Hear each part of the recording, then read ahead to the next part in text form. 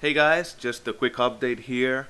Uh, after posting my survival game mode video uh, a few days ago, I got some feedback saying that it would be really nice if I had a uh, radar that should show the enemies, uh, and I absolutely agreed.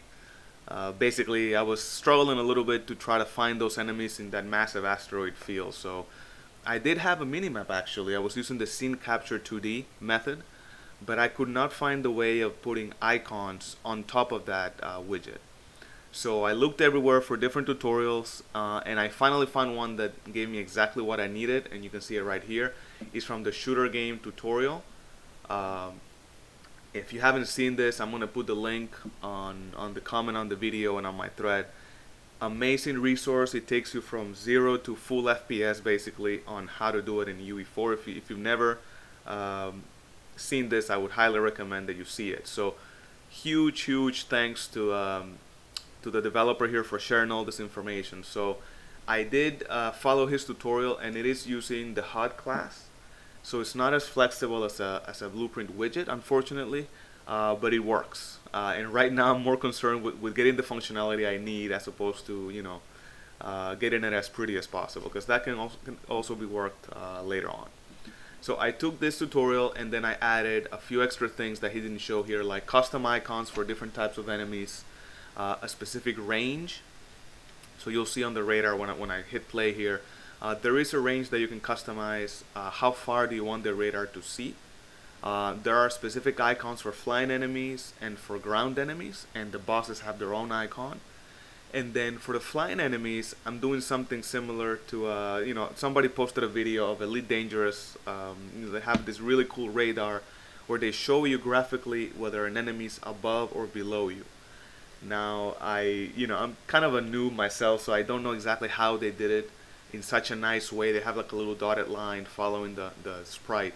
So instead, I did something a little bit basic, but it still gives you the same information, right? So I'm looking at um, the vertical distance between the player and the enemy.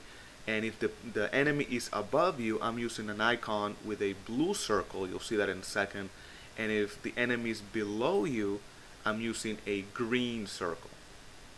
So let's see let's see how that looks like when I hit play here.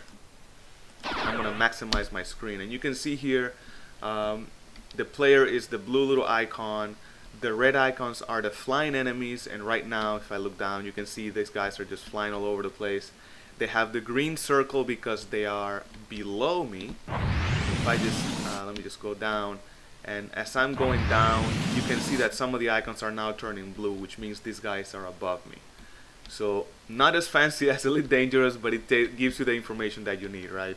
Is the enemy above or below you and how close are they and you can see in the distance we have the turrets and those are the uh, the little triangles there that you can see. Um, so pretty nifty uh, for the specific purposes of, of knowing where your enemies are. Uh, and you could you know you could enable or disable it. I have a little key here. Uh, so if you wanted to do something like Star Fox then you don't have to show this while they're doing the you know the regular uh, you know on rails mode. And you can activate it when they get to the all range mode or you could just keep it as an option like I have. If you want to display it, you can. If not, uh, you can just hide it. I'm going to swim, swim here a little bit quicker. The bosses themselves have their own um, icon. Again, taking a lot of inspiration from Star Fox. So as soon as this guy gets activated, you can see there's a little bee that pops up in the map. Um, so, bosses have their own icons, flying enemies have their own icons, and um, ground enemies have their own icons. Um, and if I go to the survival mode here, really quickly, you'll see how much easier it is to know where the enemies are. Right, so much easier as opposed to trying to search visually where they are. You could you can quickly tell. You can quickly tell where, where the enemies are, and of course they're kind of huddled behind you cool.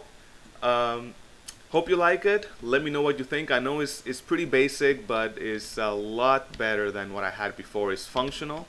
Um, I, I'm gonna see if I can add some more features there, but at least for now the basics are there. So hope you like it, and uh, I'll talk to you soon. Thanks.